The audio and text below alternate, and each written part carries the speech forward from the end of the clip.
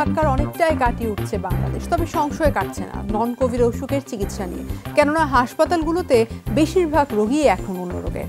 তাই দর্শক কোভিড সহ সেই সব রোগের চিকিৎসা নিয়ে যমুনা টেলিভিশনে আবারও শুরু হলো ডক্টর জন কল এখানে থাকছে দেশ বরেণ্য বিশেষজ্ঞ চিকিৎসকরা। আমাদের আজকের বিষয়ে স্বাস্থ্যসেবা এখন ঘর থেকেই। সরাসরি পেয়ে যাবেন আপনার সমস্যার সমাধান এবং পরামর্শ পেতে আমাদের ফোন করুন nine eight two four zero five two এই নাম্বারে এবং ফেসবুকে কমেন্টে আপনাদের সমস্যার সমাধান জানতে যেতে পারেন। আপনাদের সাথে থাকছে আমি হুম্পা হাসান। আর আজ থাকছেন ডক্টর ফরজানা মুনমুন, কনসালটেন্ট শিশু বিভাগ, ঢাকা মেডিকেল কলেজ হাসপাতাল। ডক্টর মুনমুন, আপনাকে স্বাগত জানাচ্ছি ডক্টর জন কলে। ডক্টর মুনমুন, আজকে আলোচনা শুরু করতে চাই টাইফয়েড নিয়ে। আমরা জানি যে টাইফয়েড এক ধরনের ব্যাকটেরিয়া গঠিত রোগ এবং দুইটি ব্যাকটেরিয়া, সালমোনেলা টাইফি এবং সালমোনেলা প্যারাটাইফি। এই দুইটির মাধ্যমে এই রোগটি মূলত ছড়ায়। প্রথমেই তাই আমি শুরুতেই জানতে চাইব যে শিশুদের মধ্যে এই রোগটি কীভাবে ছড়াচ্ছে, কি কি বাহকের মাধ্যমে এই রোগটি শিশুদের মধ্যে ছড়াচ্ছে?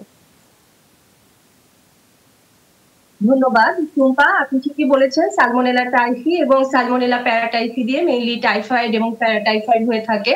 এটি মেইনলি আমরা, এটি মেইনলি খাবারের মাধ্যমে, এটা খাবার এবং পানির মাধ্যমে ব্যাকটেরিয়াটা শরীরে, এক কথায় আমাদের খাবার পিকো ওরাল রুটে খাবারটা খাবারের মাধ্যমে এই জীবাণুটা শরীরে ঢোকে এবং সেজন্য দেখা যায় যদি আমরা খাবার ঠিক মতো না ধুয়ে, না পরিষ্কার করে খাই, পানিটা ঠিক মতো ফুটিয়ে না খাই, অথবা রাস্তার খাবার স্ট্রিট ফুড গুলাতে অনেক সময় স্ট্রিট ফুডগুলার মাধ্যমে এই জীবাণুটা সাধারণত বাচ্চাদের শরীরে বা সবার শরীরেই আর কি টাইফয়েড রোগের জীবাণুটা প্রবেশ করে। এটি গেলে এবং এই যে দুটি ব্যাকটেরিয়া দ্বারা ঘটছে একটা প্যারাটাইফয়েড বলছি একটা টাইফয়েড বলছি এই দুটির মধ্যে আসলে কোনটি বেশি খারাপ এবং শিশুদের মধ্যে কোনটি বেশি পরিলক্ষিত হয়? আসলে দুটার সিমটম এবং দুটার ক্যারেক্টারিস্টিক্স একই রকম এবং এটা চিকিৎসাও একই রকম। চিকিৎসা একই রকম এবং দুইটাই হয়। আমাদের দেশে দুইটাই দিয়েই আমাদের বাচ্চারা এবং অ্যাডাল্টরা সকলেই দুইটা দিয়েই সংক্রমণ হতে পারে। তো কি ধরনের লক্ষণ আসলে প্রকাশ পায় টাইফয়েড হলে পরে? টাইফয়েড হলে প্রধান লক্ষণ হচ্ছে জ্বর এবং এই জ্বরটা প্রথম দিকে একটু লো গ্রেডের থাকে। আস্তে আস্তে জ্বরটা বাড়তে থাকে এবং ফার্স্ট উইকের শেষের দিকে দেখা যায় জ্বরটা অনেক বেশি থাকে। এবং জ্বরের সাথে অন্যান্য সিমটম যেমন মাথা ব্যথা, গা ব্যথা, বিশেষ করে নলসিয়া ভমিটিং মানে বমি বমি ভাব এবং বমি হওয়া, এছাড়া পেটে একটা পেট ব্যথা বা পেটে ডিসকমফোর্ট ফিল করা জেনারেল ডিসকমফোর্ট এছাড়া ডায়রিয়া কনস্টিপেশন যে কোনোটাই হতে পারে। এগুলা এক এটা যেহেতু একটা আমাদের খাদ্য নালী দিয়ে সংক্রমণ হয় জীবাণুটা, সেজন্য বিভিন্ন খাদ্য নালীর যে সমস্যাগুলো সেগুলো হয়ে থাকে। প্রথম সপ্তাহের দিকে এগুলাই সাধারণত থাকে। আস্তে আস্তে দ্বিতীয় সপ্তাহে যদি ট্রিটমেন্ট না হয় সময় মতো, তাহলে কিন্তু এই টাইফয়েড রোগটা অনেক বেশি কমপ্লিকেশন দেখা দিতে পারে। এবং ট্রিটমেন্টটা যদি ঠিক মতো ভাবে মানে এক কথায় অ্যাপ্রোপ্রিয়েট ডোজ এবং ডিউরেশন ঠিক মতো না হয়, তাহলে আমাদের এই টাইফয়েড রোগটা দেখা যায় যে অনেক কমপ্লিকেশন এবং যে ধরনের কমপ্লিকেশন তৈরি করতে পারে যদি প্রথম সপ্তাহে বা দ্বিতীয় সপ্তাহে ডিটেক্ট না হয় সেগুলো নিয়ে একটু জানতে যাব আপনার কাছে এরপরেও। কিন্তু আমাদের সাথে একজন দর্শক এই মুহূর্তে যুক্ত আছেন। তার কাছ থেকে প্রশ্ন নিয়ে আসতে চাই। দর্শক কে বলছেন কোথা থেকে বলছেন নাম বলে প্রশ্নটি করুন।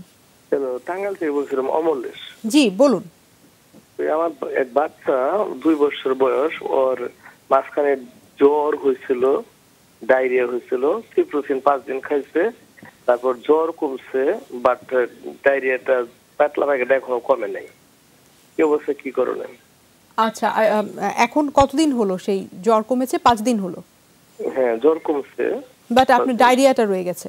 আচ্ছা আপনি শুনতে থাকুন আপনি আমরা ফিরছি ডক্টর মুনমুন। আপনি শুনছিলেন যে দর্শক বলছিলেন তার বাচ্চার বয়স দু বছর।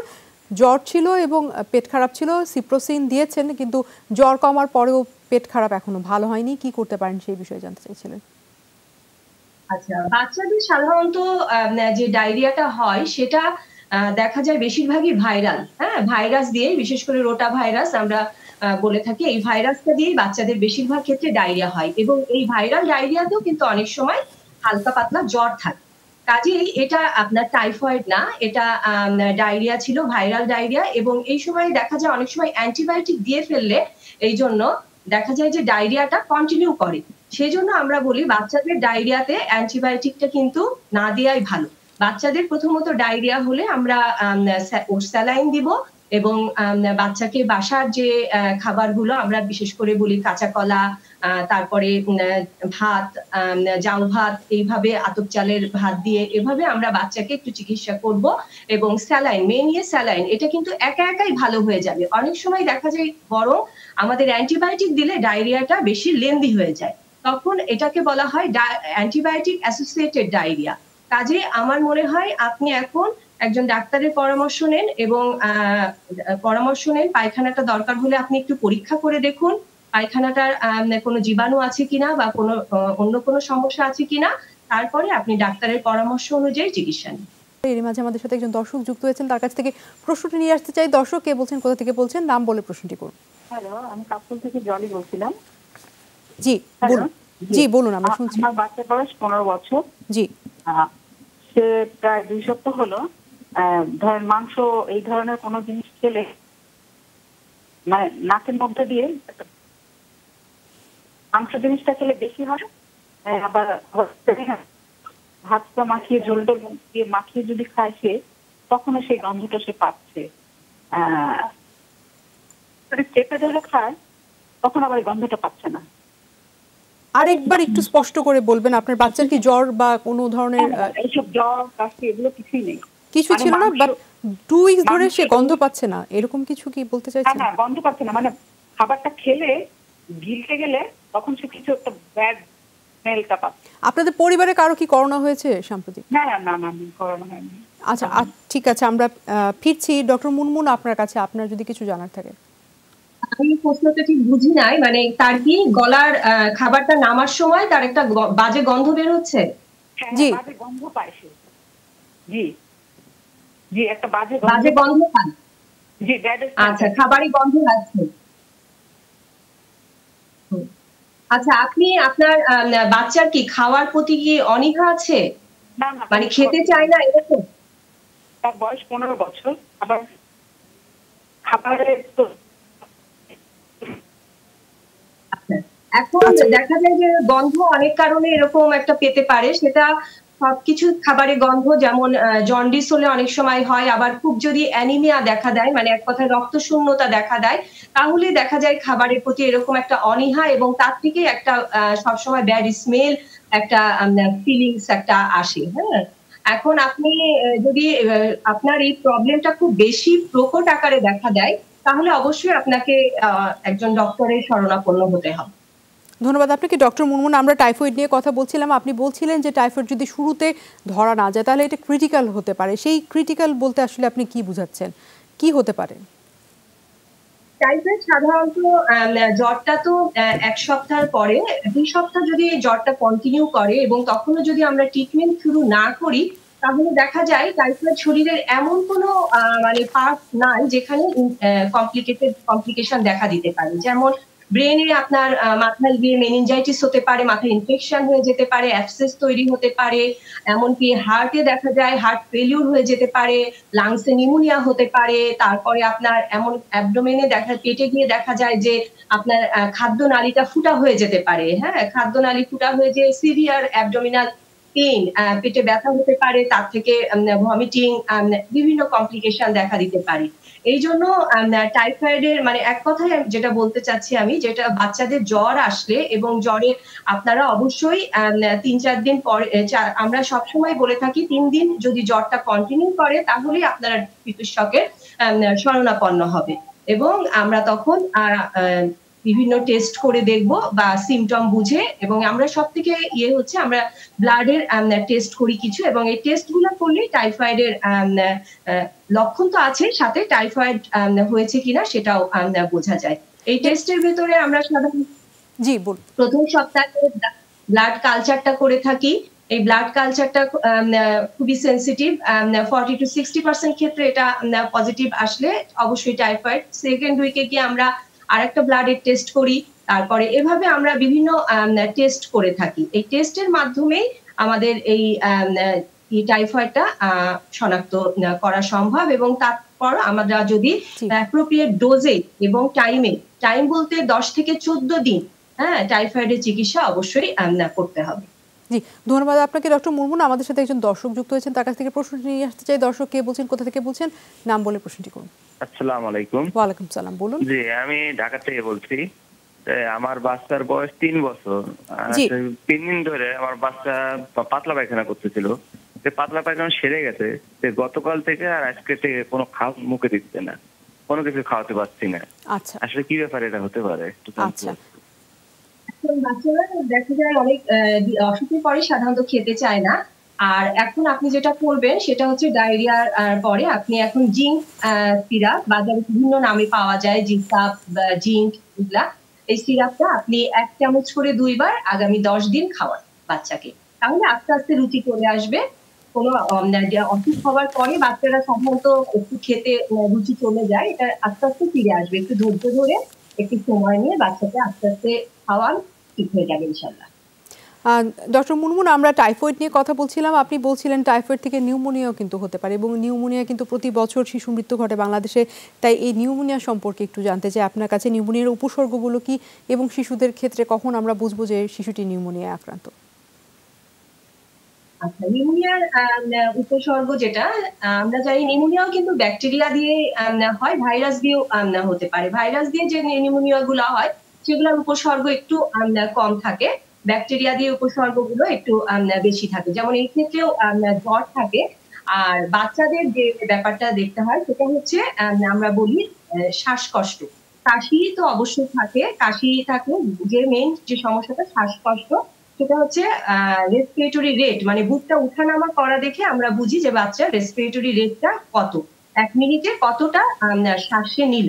কতটা শ্বাস নিল। এক মিনিটে যদি এটা আমাদের বিভিন্ন বয়স অনুযায়ী ভাগ আছে দুই মাসের নিচে যদি বাচ্চাটা ষাট মিনিটে ষাট বার বা তার বেশি নিয়ে থাকে দুই মাস থেকে এক বছর পর্যন্ত বাচ্চাটা যদি পঞ্চাশ বার বা তার বেশি শ্বাস নিয়ে থাকে আর দুই বছরের উপরের বাচ্চা এক বছরের উপরের বাচ্চা যদি আহ, মিনিটে চল্লিশ বার বা তার বেশি শ্বাস নিয়ে থাকে তাহলে আমরা সেটাকে বলি ফাস্ট ব্রেদিং মানে দ্রুত শ্বাস। এই দ্রুত শ্বাস প্রশ্বাস যদি থাকে কোনো বাচ্চার, আর আরেকটা যদি বুক ভেতরের দিকে ঢুকে যায়, এক কথায় বুকের যে খাঁচাটা, সেটা যদি ভেতরের দিকে ঢুকে যায়, যেটাকে আমরা চেস্ট ইন ড্রয়িং বলে থাকি এই দুইটা উপসর্গ দেখে আমরা সাধারণত বুঝি যে বাচ্চাটা নিউমোনিয়া হয়েছে এবং তখনই বাবা মাকে বলা হয়ে থাকে যে আপনারা অবশ্যই চিকিৎসকের শরণাপন্ন হবে এবং আমরা এটা তারপর অবস্থা বুঝে অনেক নিউমোনিয়ার বাসাকে জাস্ট অ্যান্টিবায়োটিক দিলে বা একটু ব্রঙ্কোডাইলেটার দিলে ভালো হয়ে যায়। কিন্তু অনেক নিউমোনিয়াতে আমাদের হসপিটালাইজড হতে হয় এবং বাচ্চা দেখা যায় খেতেও পারে না সেই ক্ষেত্রে স্যালাইন দিতে হয় অক্সিজেন দিতে হয় এইসব নিউমোনিয়া প্রতিরোধে আসলে কি করণীয় সেই বিষয়টি জানতে যাব আপনার কাছে কিন্তু একজন দর্শক এই মাঝে যুক্ত হয়েছেন তার কাছ থেকে প্রশ্নটি নিয়ে আসতে চাই। দর্শক কে বলছেন কোথা থেকে বলছেন নাম বলে প্রশ্নটি করুন। আমি পরিমল ঢাকার ধানমন্ডি থেকে বলছি। জি পরিমল বলুন। হ্যাঁ আমার বাচ্চার বয়স হচ্ছে এক বছর ছয় মাস পনেরো দিন। জি। আজ তিন দিন যাবত জ্বর। জ্বরটার সিমটম হচ্ছে আপনার সকাল দিকে থাকে না। আচ্ছা। হ্যাঁ সকাল দিকে থাকে না কিন্তু রাত বাড়তে থাকে জ্বরটাও বাড়তে থাকে। দেড়টা থেকে দুইটার দিকে যখন সময় তখন রাত। রাত দেড়টা থেকে দুইটার দিকে জ্বর তিনে চলে যায়। একশো তিনে চলে যায়। একশো তিনে চলে যায়। আচ্ছা আর আর কোনো উপসর্গ কি আছে? সর্দি কাশি ঠান্ডা এগুলো কিছু কি আছে? না আর কোনো উপসর্গ নেই। আচ্ছা ডক্টর মুনমুন আপনার যদি কিছু জানার থাকে। কতদিন ধরে জ্বরটা জ্বরটা কতদিন ধরে? তিন দিন ধরে তিন দিন। তিন দিন ধরে সকালের দিকে থাকছে না শুধু রাতে আসছে? জি। রাত হলে বাড়ে রাত হলে বাড়ে। রাত হলে বাড়ে। সব অসুখেরই দেখা যাচ্ছে সিমটমগুলো একটু রাত হলে বাড়ে। যেহেতু আপনি তাহলে আর দু একদিন দেখেন, বাচ্চার জ্বরটা যদি এভাবেই কন্টিনিউ করে, রাতে থাকে, অবশ্যই আপনার চিকিৎসকের শরণাপন্ন হতে হবে এবং তখন আপনার বিভিন্ন টেস্ট করিয়ে বা অন্যান্য পরীক্ষা নিরীক্ষা করে আমরা ওষুধ প্রেসক্রাইব করব। তবে এখন আপাতত আপনি যেটা করবেন, সেটা হচ্ছে যখন জ্বরটা একশোর বেশি থাকবে, একশো এক বা তার বেশি থাকবে তখন আপনি অবশ্যই বাচ্চাকে প্যারাসিটামল সিরাপটা খাইয়ে দিবেন। জি, ধন্যবাদ। আমরা নিউমোনিয়া নিয়ে কথা বলছিলাম ফেসবুকে একজন দর্শক প্রশ্ন করেছেন, তিনি জানতে চাইছিলেন নিউমোনিয়া নিয়ে যে নিউমোনিয়া প্রতিরোধে শিশুদের ভ্যাকসিন আসলে কতদিন পর পর বা কোন বয়স থেকে দেওয়া যায়, নিয়মটা কি? আচ্ছা নিউমোনিয়ার ভ্যাকসিন কিন্তু আমরা আম, ইয়েতে অলরেডি দিয়ে থাকি। আমাদের ইপিআই শিডিউলে এখন চলে আসছে। আমরা যে বাচ্চাদের ভ্যাকসিন যে শিডিউলটা আছে ইপিআই শিডিউল তার মধ্যে নিউমোনিয়ার একটা ভ্যাকসিন আছে হিমোফাইলাস ইনফ্লুয়েঞ্জিভ ভ্যাকসিন। সেটা দিয়েও নিউমোনিয়া হয় সেই ভ্যাকসিনটাও দেওয়া হয়ে থাকে অনেকদিন ধরেই। আবার কিছুদিন ধরে গত দুই বছর ধরে নিউমোকক্কাল ভ্যাকসিনও দেওয়া হয়ে থাকে বাচ্চাদের। শিডিউলের ভেতরেই আমাদের এখন ভ্যাকসিনগুলো দেওয়া হয়ে যায়। আলাদাভাবে আর ভ্যাকসিন নেওয়ার এখন দরকার নেই। এই পর্যায়ে একটু আপনার কাছে যেহেতু করোনা মহামারীর সময় চলছে এবং সাথে এবং ডেঙ্গুরও কিন্তু আমরা দেখছি যে খুব ভর্তি হচ্ছে পেশেন্টরা, বিশেষ করে বাচ্চারা। তো শিশুদের আসলে ডেঙ্গু কীভাবে বোঝা যাবে যে শিশুদের ডেঙ্গু হয়েছে কি? লক্ষণ দেখে বাবা মারা বুঝবেন। আচ্ছা শিশুদের ডেঙ্গুর লক্ষণ আসলে বড়দের মতনই, বরং শিশুদের ডেঙ্গুটার লক্ষণ বোঝাটা একটু জটিল। এই কারণে কারণ শিশুরা তাদের খারাপ লাগা বা সেটা অভিযোগে কোনোভাবে বলতে পারে না। এই জন্য দেখা যায় শিশুদের যদি অনেক সময় আমরা জানি যে ডেঙ্গু থেকে ভেতরে হেমোরেজ হয় হয়ে বাচ্চারা শখে চলে যায় এবং সেই ক্ষেত্রে পালস, বিপি, এগুলো আমাদের মাপতে হয় এবং এগুলা মাপাও বাচ্চাদের জন্য খুব কঠিন হয়ে যায়। এগুলা সবসময় বাচ্চাদের মাপাও যায় না। সেই ক্ষেত্রে বাচ্চাটা যে খারাপ লাগছে সেটাও সে বলতে পারে না। শখে যখন চলে যায়, একটা মানুষ খারাপ লাগছে বলতে পারে, বাচ্চারা সেটাও বলতে পারে না। এই জন্য ডেঙ্গুর উপসর্গগুলো বড়দের যা হয়, ছোটদেরও একই রকম ডেঙ্গুর উপসর্গ হয়। জ্বর থাকে, সাথে বিভিন্ন প্লাজমা লিকেজ থাকে হেমোরেজ থাকতে পারে, ভমিটিং থাকে নশিয়া থাকে, গা ব্যথা থাকে, মাথা ব্যথা থাকে, এগুলা তো বাচ্চারা বলতে পারে না সেইভাবে। সেজন্য আমাদের অনেকটা বুঝে নিতে হয় এবং সব থেকে ইয়ে হচ্ছে আমরা আমাদের বাচ্চাদের ক্লিনিক্যাল এক্সামিনেশন করে দেখতে হয় যে ও কোনো ধরনের লিকেজ আছে কিনা এবং আরেকটা হচ্ছে আমাদের টেস্ট করতে হবে। এজন্য আমাদের ব্লাড টেস্ট করে আমরা আমাদের দেখতে হয়। আর উপসর্গ সব একই। জি, অসংখ্য ধন্যবাদ আপনাকে ডক্টর ফারজানা মুনমুন। আপনার মূল্যবান সময় থেকে আজ আমাদের সময় দিয়েছেন। আর দর্শক ডক্টর জনকে এই ছিল আজকের মতো। আগামীকাল দেখাবে ঠিক একই সময়। ততক্ষণ পর্যন্ত আপনারা সবাই ভালো থাকুন, সুস্থ থাকুন।